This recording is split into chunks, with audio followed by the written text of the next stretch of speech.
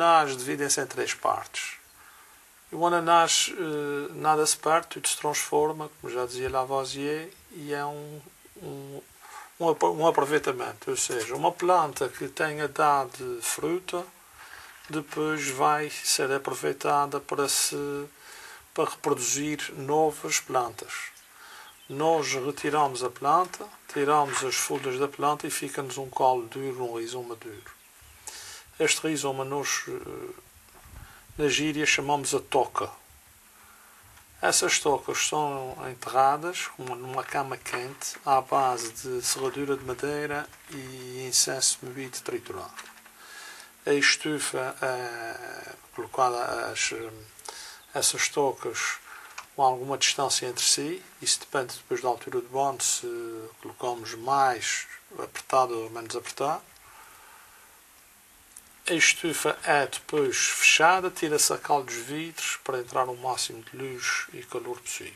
Isto é regado e ao fim de uns dias, depende da altura do ano, mas ao fim de uma semana, semana e qualquer coisa, começam a aparecer nestes rizomas que se enterraram uns pontos brancos que nós chamamos o brulho. Umas tocas que pusemos há coisa de semana e meia. Isto é uma primeira fase. Essa primeira fase dura mais ou menos entre 4 a 6 meses. Isto depois, o, cada toca dá o brulho, pode ser um pé, dois, três ou mais, isto fica muito empacado e há necessidade de lhe dar mais espaço para a planta se desenvolver. Isto é retirado daqui e é colocado numa outra estufa, tudo muito alinhadinho, com uma distância entre 15 cm para 25 cm entre pés. Nós chamamos, estamos a, a, a, a dispor a planta para ela se poder desenvolver. Essa segunda fase uh, leva à volta de mais 6 meses. Ao longo destas fases todas, nós temos que fazer o clima tropical dentro da estufa. Temos que ter sempre muito, muito cuidado com as regas, para se provocar umidade, e fazer mais ou menos ensombramento consoante à altura eh, que estamos a ter a cultura. Com o raio solar através do, do vidro queima se não tiver proteção. Por isso é que há necessidade de pintar, entre aspas, os vidros. A estufa que aqui está, está na terceira fase, é a fase mais longa de produção, porque a primeira e a segunda fase é a produção da planta. Nós depois colocamos aqui novamente, em todas as fases temos sempre uma cama quente, e temos sempre que ter os cuidados habituais de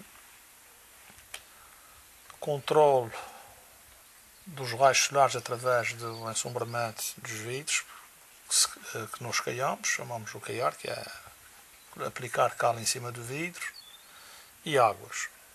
Isso nas três, frases, nas três fases é muito importante. Aqui damos maior, como já vimos na segunda fase, a planta está de 15 por 25 cm entre, entre distância entre elas e aqui não. Aqui já tem a terceira fase, nós alargamos. Alargamos para uma distância entre é, média de 55 por 35 cm entre plantas. E a planta aqui começa-se a desenvolver. Em, da, da, segunda fase, da primeira fase para a segunda, nós fazemos, ao, partirmos da, da toca velha, uh, limpamos sempre para ficar numa para a planta e deixamos de maneira limpamos algumas folhas para ela por raízes. Aqui fazemos a mesma coisa, limpamos o, o truco da planta para ela por nova, raiz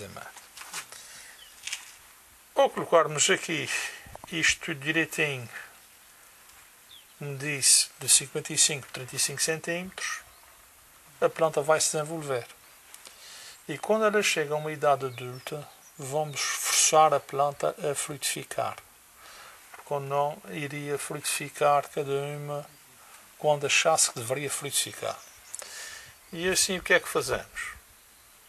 Numa data escolhida, eh, nós iremos fazer durante 9 a 12 dias consecutivos uma fogueira dentro das estufas no final do dia.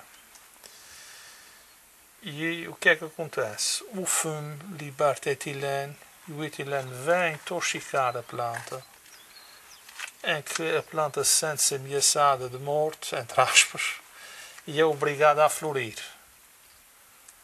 E aí nós temos a floração. Depois há uma certa técnica que temos que arejar a estufa, temos que abrir, fechar, consoante a floração está a vir e consoante a altura de bom que se faz as fogueiras. Muita gente pensa que se faz a fogueira para aquecer a estufa. Não. Nós obrigamos a planta a florir. Uma maneira de nós controlarmos a floração da planta. E posso adiantar que nós aqui no meio do Atlântico fomos os primeiros a utilizar essa técnica mundialmente. Aconteceu acidentalmente, mas a partir daí outros já começaram também a fazer isso. E depois então da floração temos que esperar que o ananás comece a florir, comece a crescer até o seu corte final todo este ciclo, dependente da altura do ano em que se fizer as fogueiras, vai nas três fases entre dois anos a dois anos e meio.